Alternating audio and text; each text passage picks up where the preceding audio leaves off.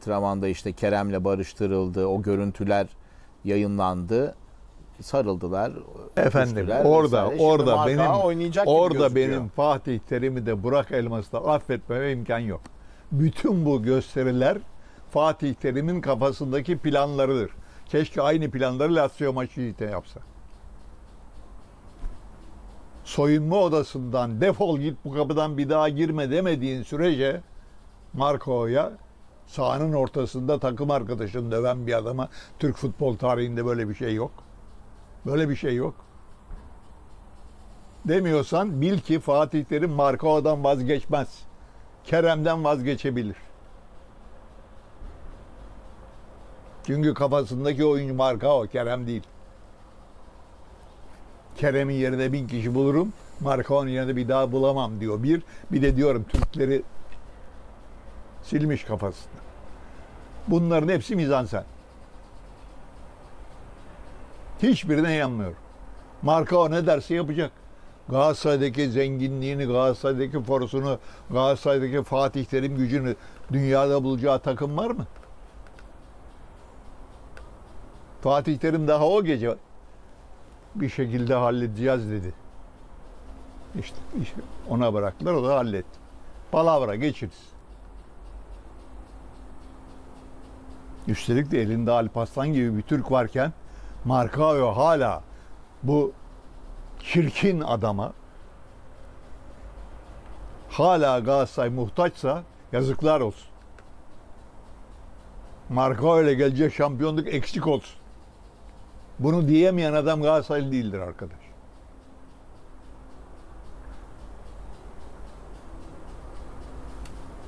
Galatasaray Lisesi'nde o lisenin öğrencileri tarafından batıya açılan pencere ve yabancıları yenmek için kurulan Galatasaray bu değil. O Galatasaray'ı bambaşka bir takım yaptı.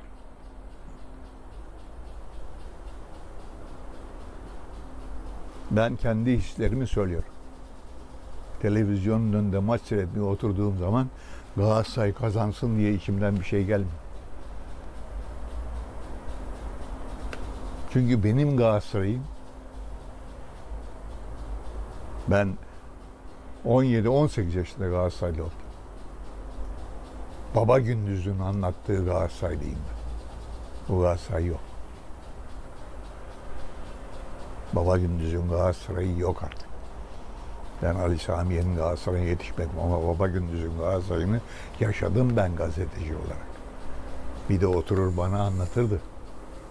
Her gece kamplarda 3 saat 4 saat Galatasaray nedir Galatasaraylık nedir diye anlatırdı.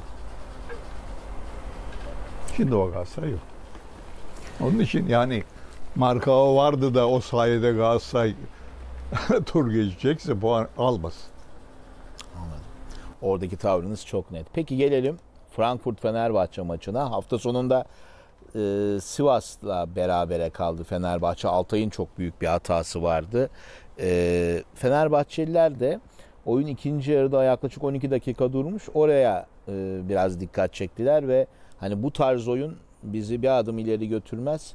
E, rakipler işte yere yatıyor kalkmıyor tarzı bir yaklaşım içinde oldular. Nasıl Efendim? değerlendiriyorsunuz bunu? Bir, Fenerbahçe yüzde yüz haklı. Ben bu kadar rezil futbol anlayışı görmedim. Bir Adem'e kızıyordum. Şimdi herkes Adem ya. Türkiye'de. Üç gün evvel gelmiş bir antrenmanla maça çıkmış adam bile bizimkiler gibi. Fenerbahçe yüzde yüz haklı. Maç en az 12 dakika uzatılmalıydı.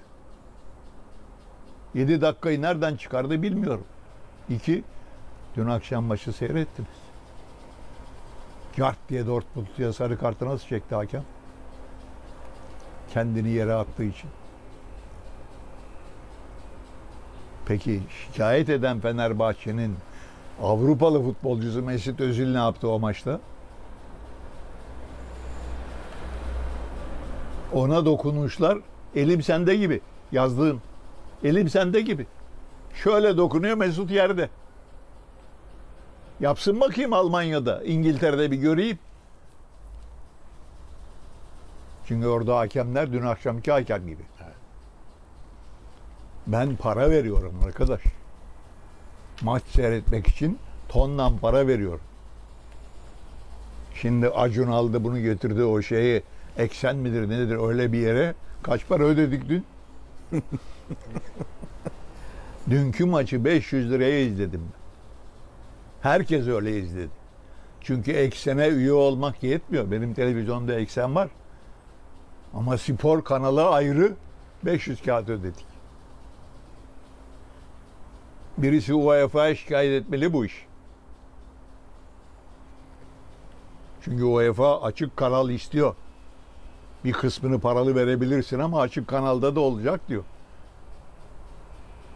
Acun'un şeyde açık kanalı var. Dijitürk'te açık Belki kanalı var. ilerleyen haftalarda öyle bir uygulamaya D-Smart'ta açık kanalı var. Hayır.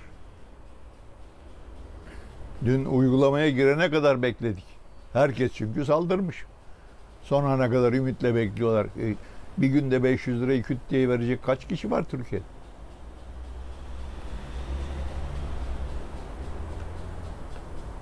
E ben seyrediyorum. Benim evimde olmasa da e, kebapçıda komilik yapsa Caner seyretme hakkı yok mu maç? Buna herkes nasıl susuyor böyle bir şey? Bu seneye özel bir durum değil tabii. Böyle hep böyle uzun zamandır e, şifreli kanallar. Efendim şifreli kanalın da şifresiz vermesi gereken belli oranda maçlar var. Emrediyor UEFA. Yayıncı kuruluşlara hepsini şifreleyemezsiniz. İki bu televizyon kanalı değil ya. Evet. İnternet kanalı. Arkadaşlarım son bir diyor. Frankfurt maçı. Hıncalar. Efendim Fenerbahçe e, geçen hafta bu yılki en güzel maçlarından birini oynadı bana bir. Yani sonucu şey yapmıyor. Ve e, gayet ümit verdi. İki, Frankfurt bizim bildiğimiz Frankfurt değil. Alman liginde küme düşme hattında neredelerse 3 puan almışlar. 3 puanı da 3 beraberlikten almışlar. Hasbel kader. Yani Fenerbahçe'nin e, şu ana kadar verdiğim notla iyi bir hocası var. İyi bir kadrosu var. Frankfurt'ta buralarda. Fenerbahçe bu akşam benim favorim. Peki e, zamanımız dolmuş yönetmenimiz öyle işaret ediyor. Öncel abi ağzına sağlık. Dileyelim ki hem Galatasaray hem Fenerbahçe ile bugün e, güzel sonuçlar alalım. E, keyif yaşayalım. E, şans da bizden yana olsun. Ağzınıza sağlık. Teşekkürler. Size de bizi izlediğiniz için teşekkür ediyoruz. Hoşçakalın.